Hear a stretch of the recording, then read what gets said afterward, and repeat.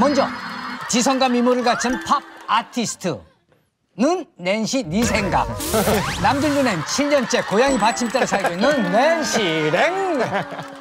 얼굴은 외국인, 직업은 한국인, 인지도는 양배추, 개그하는 욕쟁이 외국인, 샘 해밍턴. 욕쟁이 외국인. 이분은 좀 겁납니다. 이분 또안 웃겨놓고 편집하면 우리만 욕먹는 거 아닙니까? 통편집의 신화 인피니트 L의 형 어. 성규 마지막으로 UV에서 유세윤 옆에 개를 맡고 있는 UV의 개 아, 유부이 개. 유지 씨. 예. 어서 오세요. 어, 네. 어, 네. 아, 앉으세요.